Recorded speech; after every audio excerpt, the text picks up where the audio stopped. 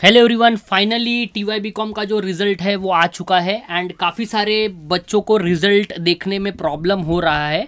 तो इसके लिए ये वीडियो मैं आपको प्रिपेयर करके दे रहा हूँ। तो ध्यान से देखें कैसे हमको रिज़ल्ट को देखना है। How we can check our result सबसे पहले जो वेबसाइट है, उसका लिंक मैं डिस्क्रिप्शन में डाल रहा हूँ। M U M result dot in this is the website जहाँ पर आपको मुंबई यूनिवर्सिटी का बीकॉम का जो रिज़ल्ट है, वो देख लेना है। कैसे रिज़ल्ट को देख करना है, सारे स्टेप्स को ध्यान से देखें, ताकि आपको ओवरऑल रिज़ल्ट देखने में काफ़ी सारी जो दिक्कतें हो रही है, बच्चों को साइट ओपन नहीं हो रही है।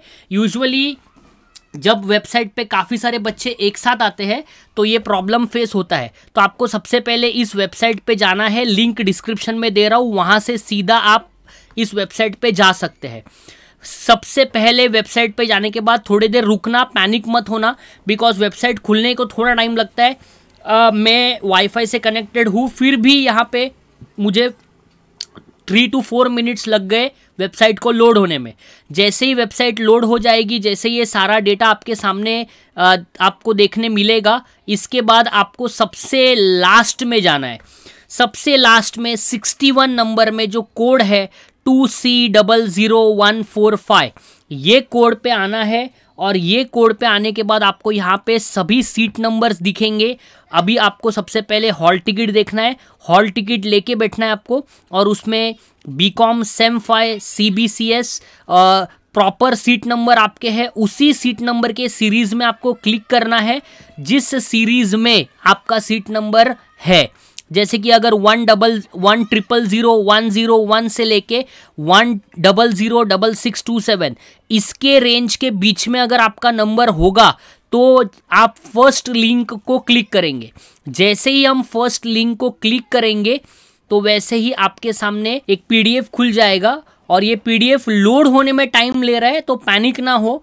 आ, मेरे पास भी टाइम ले रहा है आपके पास भी टाइम लेगा काफ़ी ज़्यादा टाइम ले सकता है लेकिन आपको इसी तरीके से ये रिज़ल्ट को देखना है। अभी मैं फ़िलहाल इसको क्लोज कर देता हूँ बिकॉज़ काफ़ी सारे बच्चे इस वेबसाइट पे अभी है। इसके लिए अगर आप जैसे ही लिंक को क्लिक करते हो वेबसाइट लोड होने में काफ़ी ज़्यादा टाइम ले रहा है।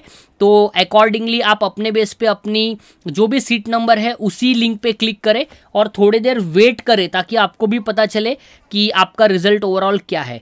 फिर मैं एक वीडियो लेके आऊँगा कि अभी रिज़ल्ट लगने के बाद जिनको भी केटी लगी है, उन्होंने किस तरीके से फोकस करना चाहिए। जिनको केटी नहीं लगी है, उन्होंने सेम सिक्स के ऊपर कैसा फोकस करना चाहिए। तो नेवर द लेस कोई टेंशन लेने की आपको ज़रूरत नहीं है। अगर केटी लगी भी है तो भी आपको किस तरीके से वो केटी को क्लियर करना है, सारी चीज़ें गाइड करूँगा। इस चैनल के साथ जुड़े रहे। आपकी केटी क्लियर करने के लिए ये चैनल आपको काफ़ी हेल्प कर सकता है।